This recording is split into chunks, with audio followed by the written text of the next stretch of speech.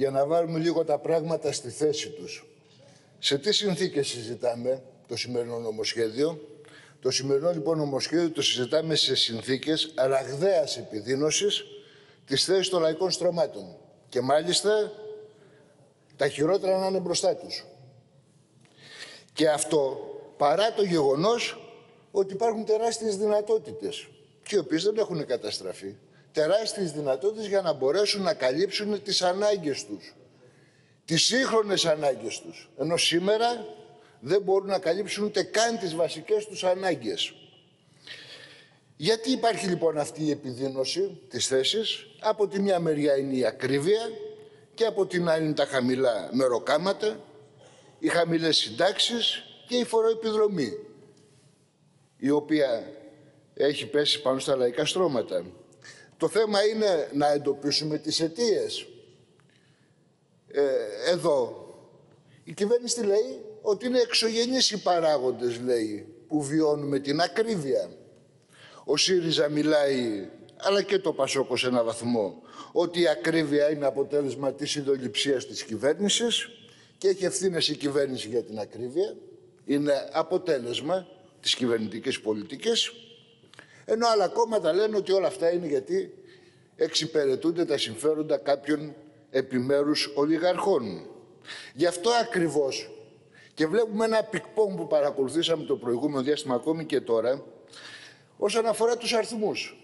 Άλλους αριθμούς βάζει μπροστά η κυβέρνηση, άλλους ο ΣΥΡΙΖΑ, άλλους το ΠΑΣΟΚ. Το ποσοστό του πληθωρισμού, το ποσοστό της ανάπτυξης, το πόσο έχουν έρθει οι επενδύσεις και όλα αυτά για να συγκαλύψουν πια την κατάσταση, την τραγική την οποία βιώνει ο λαός. Βλέπουν αποσπασματικά ορισμένα μεγέθη για να καλλιεργήσουν να πάει και μόνο ψεύτικες εντυπώσεις. Φέρνουν παραδείγματα από τις άλλες χώρες της Ευρωπαϊκής Ένωσης. Λες και εκεί οι λαοί ευδαιμονούν. Δεν έχουν προβλήματα στις υπόλοιπες χώρες. Στην Ισπανία, στη Γαλλία, στην Πορτογαλία, στη Γερμανία και αλλού. Τα ίδια ακριβώς προβλήματα και η ίδια ραγδαία επιδείνωση της κατάστασης. Και όλα αυτά για να συγκαλύψουν την πραγματικότητα το κάνουν, να συσκοτήσουν τις αιτίες και να αποπροσανατολίσουν τον κόσμο. Ποια είναι η αιτία της ακρίβειας, τουλάχιστον στην ενέργεια, αλλά και αυτό έχει και τις επιπτώσεις παραπέρα, είναι μακροχρόνιες πολιτικές επιλογές, που με συνέπεια υπερέτησαν όλες οι κυβέρνησεις, και το ΠΑΣΟΚ και η Νέα Δημοκρατία και ο ΣΥΡΙΖΑ. Και έχει ονοματεπώνυμο. Απελευθέρωση της αγοράς ηλεκτρικής ενέργειας, πολιτική της Ευρωπαϊκής Ένωσης. Γιατί έγινε αυτή η απελευθέρωση, έγινε ως απάντηση στην υπερσυσσόρευση του κεφαλαίου. Δηλαδή για να στηριχθεί η κερδοφορία των επιχειρηματικών ομίλων. Και γι' αυτό ακριβώς επέλεξαν την πράσινη μετάβαση. Βάλαν τα τέλη των ρήπων για να γίνει ο λιγνίτης πιο ακριβώς, άρα λοιπόν να μην χρησιμοποιείται, καταστρέφοντας και απαξιώνοντας μια κύρια πηγή ενεργειακή στη χώρα μας, όπως και τα νερά, τα οποία δεν αξιοποιούνται, για να μπορέσει ακριβώς να δημιουργηθεί ένα πολύ ακριβό μείγμα. Ένα πολύ ακριβό μείγμα και από τις αναγμογεννήτριες και, την, ε, και τα φωτοβολταϊκά, αλλά και ταυτόχρονα από το φυσικό αέριο που είναι ένα εισαγόμενο καύσιμο και να αυξηθεί η ενεργειακή εξάρτηση της χώρας. Να λοιπόν, το πανάκριβο αυτό μείγμα το οποίο το χρυσοπληρώνει ο λαός μας είναι η αιτία. Και αυτό το μείγμα το συνδιαμόρφωσε το ενεργειακό και η Νέα Δημοκρατία και ο ΣΥΡΙΖΑ και το ΠΑΣΟΚ. Και έχουν ευθύνες για αυτό το πανάκριβο μείγμα. Δώσαν ή όχι όλες οι κυβερνήσεις σκανδαλώδεις παροχές στους επιχειρηματικούς ομίλους οι οποίοι δραστηριοποιούνται στην πράσινη λεγόμενη ενέργεια. Το τι επιδοτήσεις, το τι διασφαλισμένη τιμή στην παραγωγή ενέργειας. Αυτό τι είναι; Δεν είναι μια πολιτική σκανδαλώδους προς όφελος των αρπακτικών της πράσινης ενέργειας. Οι κυβερνήσεις δεν ήταν που υποχρέωναν τη ΔΕΗ να πουλάει το ρεύμα κάτω του κόστους με τις νόμες που εφάρμοσε η κυβέρνηση του ΣΥΡΙΖΑ. Σε ποιο πουλάγαν κάτω του κόστους; Στα αρπακτικά της ενέργειας πουλάγαν. Ποιον εξυπηρετούσαν; Τα κέρδη των επιχειρηματικών ομίλων και του καρτέλ. Λοιπόν, τι θα πούμε, ότι ο ΣΥΡΙΖΑ με την πολιτική του για τις νόμε εξυπηρετούσε τα συμφέροντα των καρτέλ. Αν διαφορετικά δεν υπάρχει άλλο νόημα για να το κάνει αυτό, μια και ο λαός εξακολουθούσε να πληρώνει ακριβό το ρεύμα. δημιουργήσαν το χρηματιστήριο ενέργειας, τη ρήτρα αναπροσαρμογής και βεβαίως όλα αυτά τα οποία διασφάλιζαν τα συμφέροντα των επιχειρηματικών ομίλων. Και πάνω σε αυτό το πλαίσιο το αντιδραστικό, το βαθύτατα αντιλαϊκό, ήρθαν και πέσανε οι υπερεαλιστικοί ανταγωνισμοί για τον έλεγχο των ενεργειακών πηγών και των διαδρομών, οι υπερεαλιστικοί ανταγωνισμοί οι οποίοι οδήγησαν στη σύγκρουση η οποία εξελίσσεται στην Ουκρανία. Μια σύγκρουση ανάμεσα στη Ρωσία, τους Αμερικάνους και τον ΝΑΤΟ. Για το οποίο θα λέξει την ενέργεια. Και αυτό ακριβώς αποτέλεσε και τη θριαλίδα αύξησης ακόμη περισσότερο της ακρίβειας. Και σε όλα αυτά έρθει και η φορολογία, η έμεση φορολογία με την οποία συμφωνούν η Ευρωπαϊκή κατεύθυνση. Πρόσφατα και τα τρία κόμματα δεν ψηφίσατε την Ευρωπαϊκή Οδηγία για την ειδικό φόρο κατανάλωσης στα καύσιμα, στην ενέργεια, στα ποτά και στα τσιγάρα. Τώρα γιατί διαμαρτύρεστε. Όλα αυτοί είναι οι παράγοντες οι οποίοι συνδιαμόρφωσαν το ακριβό μείγμα. Και έρχεται η κυβέρνηση και λέει τι με τα επιδόματα λέει θα σώσω το λαό. Αλήθεια. Από πού τα βγάζει αυτά τα επιδόματα. Από τον κρατικό προϋπολογισμό, δηλαδή τους φόρους που πληρώνει ο λαός ή από το πράσινο ταμείο, το οποίο δεν είναι τίποτα άλλο παρά τα χρήματα που έχουν δώσει τα λαϊκά στρώματα μέσα από τα τιμολόγια της ενέργειας για να ενισχυθούν οι πράσινοι όμιλοι. Δηλαδή ο ίδιος ο λαός πληρώνει αυτή την επιδότηση η οποία διαμέσου των οικοκυριών και των τιμολογίων των πιο φτωχών καταλήγει και πάνω στους επιχειρηματικούς ομίλους. Γιατί εκεί πάει αυτή η επιδότηση; Με αποτέλεσμα να παίρνουν πολύ λίγα, πολύ λίγοι και να μην καλύπτονται τεράστιες αυξήσεις οι οποίες υπάρχουν. Και όλο αυτό βεβαίως είναι ένα βαρέλι δίχως πάτο. Και σε αυτή την πολιτική συγκλίνουν και τα άλλα κόμματα. Λιγότερο ή περισσότερο επίδομα να δώσουμε, χωρίς να αμφισβητούν την αιτία. Και η αιτία είναι η αναπαραγωγή αυτού του ακριβού μείγματος. Και εδώ πέρα, μία και μιλάμε για τα επιδόματα. Επιτρέψτε μου, κύριε Πρόεδρε, να δώσω και μία απάντηση στον κύριο Βαρουφάκη. Όχι γιατί δεν το ξέρει, αλλά σκόπιμα συκοφαντεί τη θέση του ΚΚΕ. Το ΚΚΕ δεν ήταν ποτέ με τα επιδόματα. Αντίθετα, τα κατέγγειλε τα επιδόματα. Τι ζητάει, για παράδειγμα, το ΚΚΕ; Το ΚΚΕ ζητάει πρώτον να καταργηθεί η έμεση φορολογία και ειδική φόρη στην ενέργεια και στα καύσιμα. Δεύτερον, να καταργηθεί το τέλος ρήπο για να γίνει ο λιγνίτης και πάλι ελκυστικός και να μπει άμεσα στην παραγωγική διαδικασία. Το χρηματιστήριο είναι η ρήτρα αναπροσαρμογής. Και βεβαίως να καταργηθούν, να αποσυνδεθεί η χώρα μας από τις κυρώσεις. Είμαστε αντίθετοι, κύριε Υπουργέ, με τις κυρώσεις στη Ρωσία.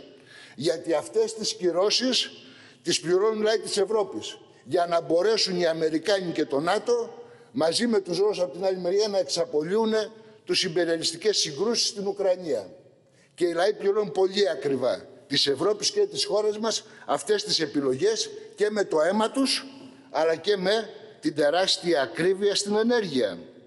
Αυτές λοιπόν οι επιλογές του ΚΚΕ είναι σε αντίθεση με την πολιτική της Ευρωπαϊκής Ένωσης. Συγκρούονται με αυτή την πολιτική της Ευρωπαϊκής Ένωσης που έχει οδηγήσει το λαό να στενάζει κάτω από την επιλογή της ακρίβειας.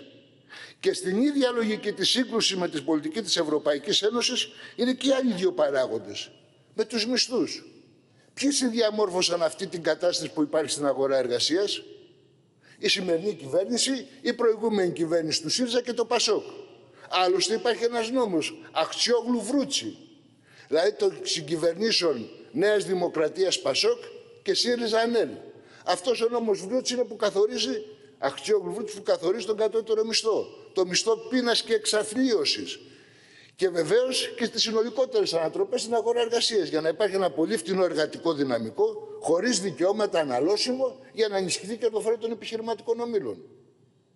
Να λοιπόν και η δεύτερη αιτία γιατί η μισθή είναι χαμηλή. Για να στηριχθούν οι επιχειρηματικοί όμιλοι. Και τρίτον, με τη μείωση των συντάξεων στο λαό, σε όλους τους συνταξιούχους, με αποκορύφωμα το νόμο Κατρούγκαλου και τη φοροεπιδρομή στο όνομα πια της δημοσιονομικής εξυγίανσης.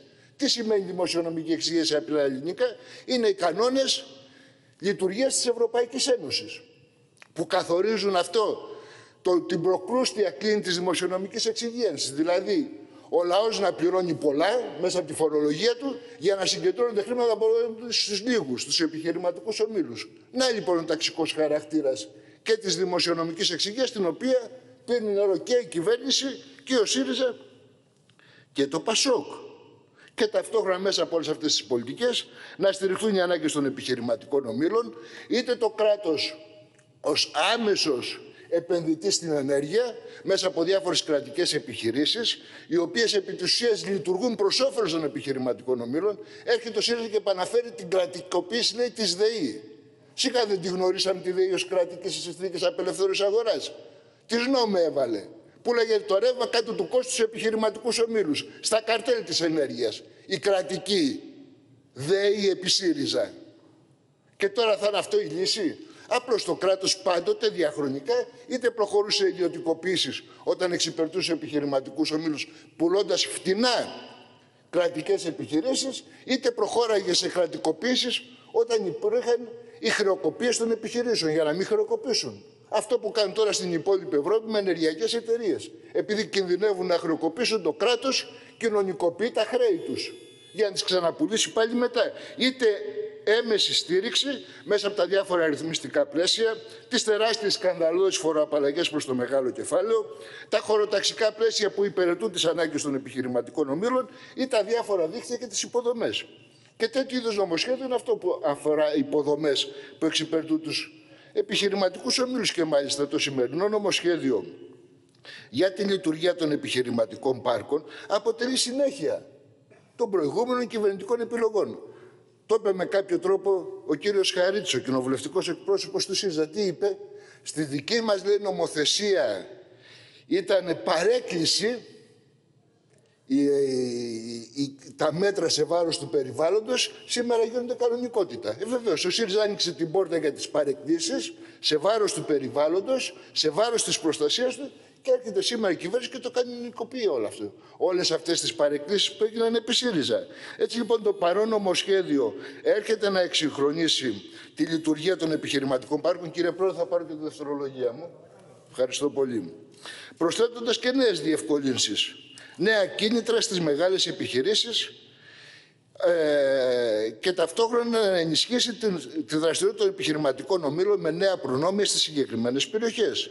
Στην ουσία δηλαδή πρόκειται για περιοχές τα νέα επιχειρηματικά πάρκα, όπου εφαρμόζονται ειδικές πολεοδομικές, φορολογικές και αναπτυξιακές παροχές προς το μεγάλο κεφάλαιο και στην πορεία της επόμενο διάστημα να δούμε και ειδικές εργατικές διατάξεις, ένα δηλαδή ασφαλισμένο περιβάλλον για την κερδοφορία των επιχειρηματικών ομήλων.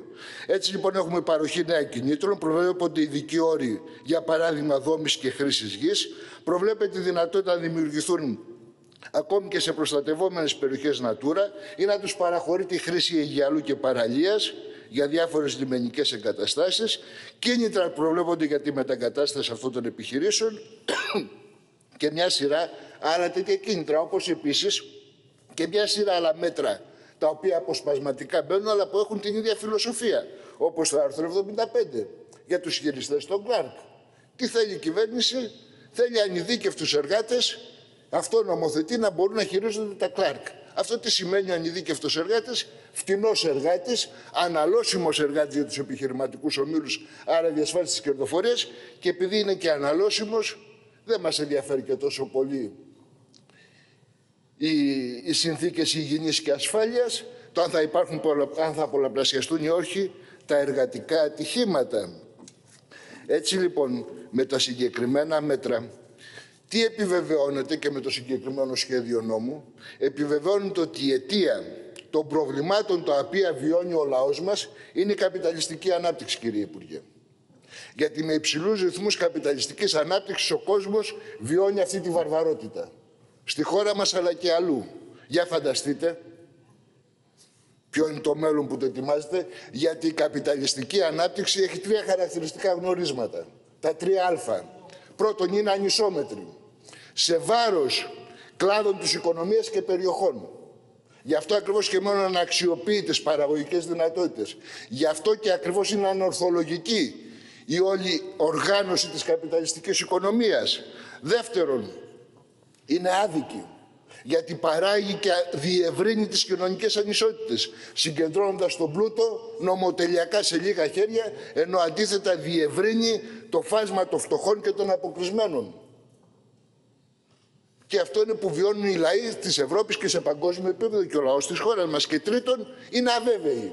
Γιατί κάθε καπιταλιστική ανάπτυξη γεννά ταυτόχρονα και τους παράγοντες εκδήλωσης νέας κρίσης. Και όπως βλέπουμε τα τελευταία χρόνια οι κρίσεις γίνονται όλο και πιο γρήγορες, όλο και πιο έντονες. Και τώρα μπαίνουμε πλέον σε νέο περιβάλλον καπιταλιστικής κρίσης σε διεθνές επίπεδο. Γι' αυτό ακριβώς το λόγο και το ΚΚΕ λέει στο λαό ότι δεν πρέπει να εγκλωβιστούν σε μια κύβδηλη αντιπαράθεση που κάνουν τα κόμματα του κατεστημένου. Να μην εγκλωβιστεί η λαϊκή δυσαρέσκεια εντός των τυχών του συστήματος. Γιατί τα κόμματα του κατεστημένου, Νέα Δημοκρατία, ΣΥΡΙΖΑ και ΠΑΣΟΚ είναι συνυπεύθυνα για τα προβλήματα τα οποία βιώνει σήμερα ο λαός. Γι' αυτό δεν είναι τυχαίο ότι ο ΣΥΡΙΖΑ σήμερα εμφανίστηκε ως πλασιέ στην κυριολεξία επιχειρηματικών ετοιμάτων για το συγκεκριμένο νομοσχέδιο, αλλά και για άλλα τμήματα. Ή μάλλον προβάλλοντας, για να είμαι πιο ακριβής, αιτήματα τμήματων του κεφαλαίων που βλέπουν τη θέση τους να επιδεινώνεται. Άρα λοιπόν προς όφελος επιχειρηματικών ομήλων ήταν η παρουσία σήμερα του ΣΥΡΙΖΑ εδώ. Και βεβαίως συναντιέται με την κυβέρνηση και σε κάτι ακόμη, εκτός από την εξυπηρέτηση των συμφέρον των επιχειρηματικών ομίλων. Συναντιέται με την κυβέρνηση και με το ΠΑΣΟΚ στην Κάναβη για να νομοποιήσουν στη συνείδηση του λαού την κάναβη, δηλαδή για να πούνε με απλά λόγια στο λαό, φύτεψε και εσύ μια καναβουριά, όπως έλεγε πρώην Πρωθυπουργός, για να πάνε τα φαμάκια κάτω. Διαμόρφωσε λοιπόν μια ψεύτικη πραγματικότητα μέσω της καναβουριάς. Και αυτό τη στιγμή που επί της ουσίας τα κόμματα αυτά Νέα Δημοκρατία, ΣΥΡΙΖΑ και ΠΑΣΟΚ συμφωνούν με την πολιτική της Ευρωπαϊκής Ένωσης που διαμορφώνει το πλαίσιο δράσης σε οικονομικό και κοινωνικό επίπεδο και σε επίπεδο δημοκρατικών δικαιωμάτων όπως είναι οι υποκλοπές. Συμφωνούν με το ΝΑΤΟ και τη διεύρυνση του ΝΑΤΟ το οποίο είναι η πολεμική μηχανή που μακελεύει τους λαούς της περιοχής και είναι υπεύθυνοι για τα προβλήματα. Συμφωνούμε με τη στρατηγική συμμαχία με τις ΗΠΑ. Όταν λοιπόν συμφωνείτε με αυτούς τους τρεις βασικούς παράγοντες, τότε είναι βέβαιο ότι η επόμενη κυβέρνηση, όποια και αν εκλεγεί μετά τις εκλογές, θα τις δώσουν αυτοί οι τρεις παράγοντες έτοιμο το κυβερνητικό πρόγραμμα. Έχει συνδιαμορφωθεί πλέον το κυβερνητικό πρόγραμμα της επόμενης μέρας από τις επιλογές της Ευρωπαϊκής Ένωσης του ΝΑΤΟ και των Αμερικάνων και βεβαίως και τους στόχους της ελληνικής αστικής τάξης για την εξυπηρέτηση των συμφερόντων και τη γεωστρατηγική της λεγόμενη αναβάθμιση. Από αυτή την άποψη μπορούμε να είμαι καθαρά. Το μέλλον το οποίο προσπαθούν να τους διαμορφώσουν ένα μέλλον το οποίο στενάζει κάτω από την καπιταλιστική βαρβαρότητα μπορεί ο λαός να το ανατρέψει. Και τέτοια παραδείγματα ενθαρρυντικά υπάρχουν. Είναι ο αγώνας των εργαζόμενων στο λιμάνι του Πειραιά. Είναι ο αγώνας των εργαζόμενων στη Λάρκο, στη Μαλαματίνα. Είναι ο αγώνας των εργαζόμενων στη Σιφούντ.